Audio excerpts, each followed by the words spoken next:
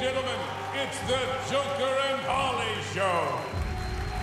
I got the sneaking suspicion that we're not giving the people what they want. You're right. Let's give the people what they want.